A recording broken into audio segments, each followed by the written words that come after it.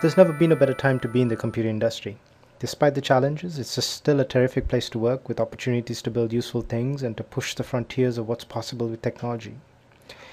You may have also heard that despite the thousands of computer science students graduating from colleges and universities around the world, only a small number are actually employable at most organizations.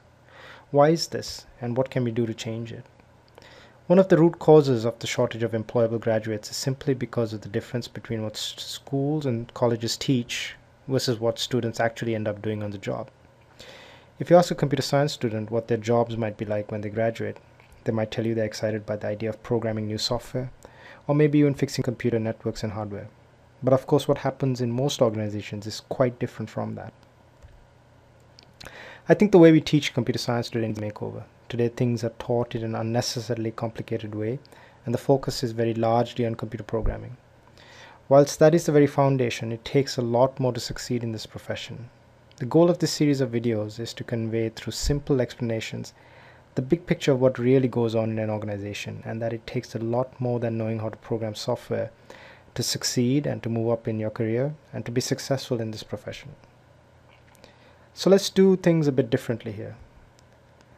Let's break down the whole subject into small bits and study each area through simple explanations and then put it all together so you can see the big picture.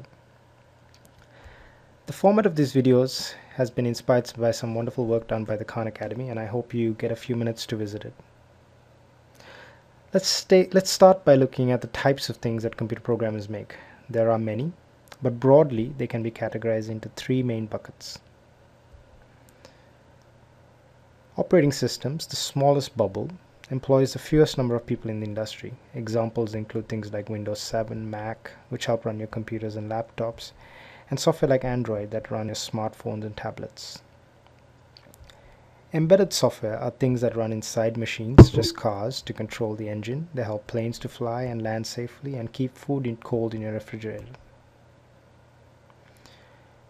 User software is the largest bubble and represents things like websites, business applications such as those used by your phone company to calculate your monthly phone bill, personal applications such as listening to music, typing documents, creating spreadsheets. Let's call this whole group applications. We will focus on this category of software as it is the one that employs the greatest number of people and also faces the highest number of challenges. So what do computer professionals actually do? We are now ready to take a quick peek into answering that question. They help create new applications or customize existing applications and when they're ready, help users to use it. They enhance it to make it better and after many months or years of using it, they help to replace or retire it. When an application is being created, it costs the organization both money and time when it goes into use, the organizations make money or save money by having users use it. Organizations continue to invest more money by keeping by making enhancements and changes to keep making it more and more useful to users. But as it gets older, its value gradually decreases, and at some point it costs the organizations more money to keep it going than the value it earns from it. At this point, the organization replaces or retires the application. Organizations continue to find ways to do more with scarce resources such as time, money, and people.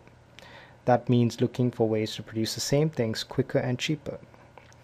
The same thing applies to creating and managing applications. Organizations are always trying to find ways to reduce the cost and time needed to create new applications increase the length of time that an application is in use before it needs to be replaced. Increase the value of the application so that users might use it for longer and use it more frequently.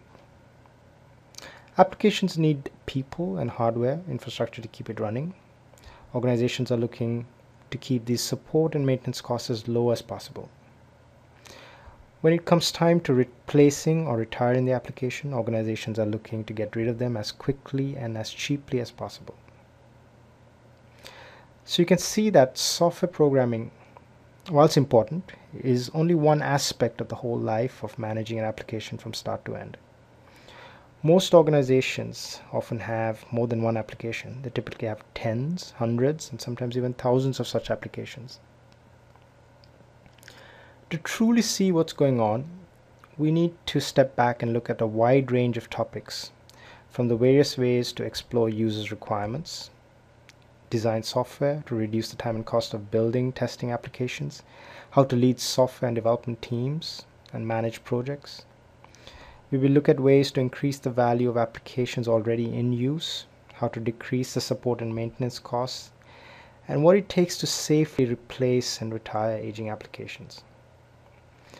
And finally, we'll touch upon risk management.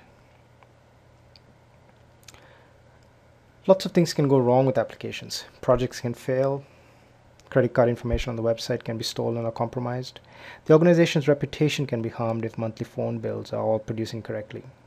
So computer professionals are required throughout the application's lifecycle to keep these risks from hurting users or the organization.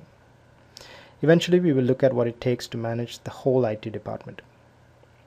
I hope to inspire you to see the big picture of what really goes on in an organization and what you need to know to succeed and move up in your career. See you in the next video where we will look at an application and how it gets built from start to finish.